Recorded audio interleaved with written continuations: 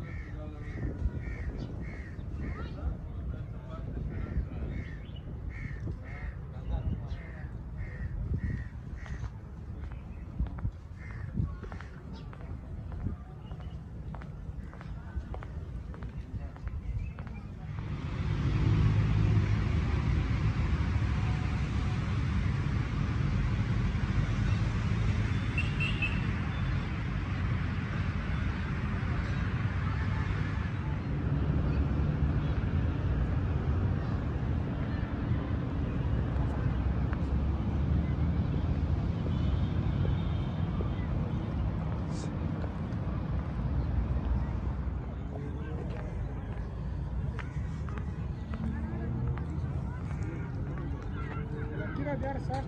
Sujo com esse vídeo, sentido.